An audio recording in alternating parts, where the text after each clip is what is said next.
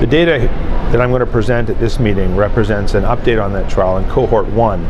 The Checkmate trial had a number of different cohorts. This particular cohort randomized patients in a one-to-one ratio between receiving the nivolumab monotherapy and nivolumab plus ipilimumab. What the early data demonstrates is that the safety profile with nivolumab monotherapy was superior, and there's promising evidence of activity with nivolumab compared to historical controls, which in this patient population would include patients receiving bevacizumab.